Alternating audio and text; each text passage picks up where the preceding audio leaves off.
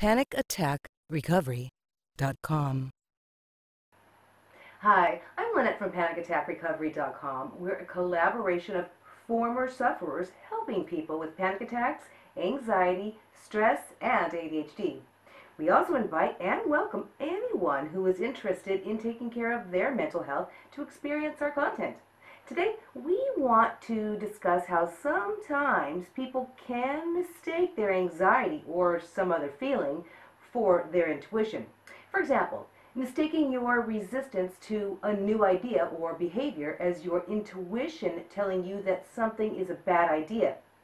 This misinterpretation could be explained as two cognitive distortions.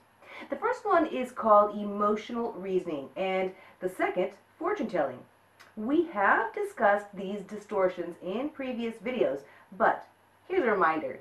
Emotional reasoning is defined as concluding things are a certain way because of how we feel about them, and fortune telling is predicting the future, when in fact, we are not certain about it.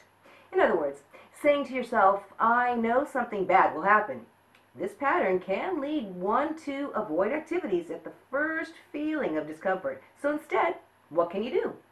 One, learn to notice when you are having these gut feelings. Two, then ask yourself, is this really my intuition or is it just anxiety? Believe it or not, by simply placing your attention on these feelings, you can sometimes determine whether something is tweaking your intuition or whether anxiety or another form of uncomfortable emotion is coming up. And three, if you are able to determine that it's just anxiety, then the anxiety can sometimes just lift enough so that you can realize that there is no practical reason to avoid certain things. If in the current moment you don't feel like committing one way or another, don't wait until tomorrow. And then tomorrow ask yourself, what exactly is stopping me? Next, complete a cost benefit analysis. To do so, simply write down the pros and cons of carrying out the activity.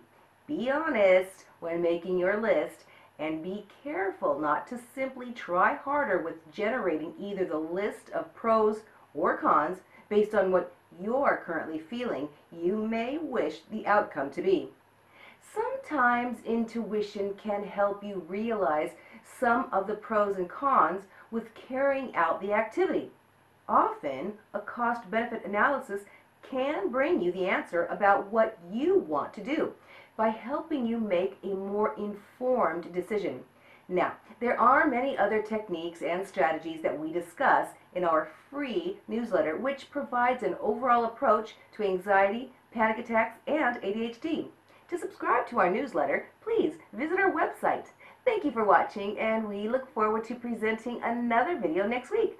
Take care. PanicAttackRecovery.com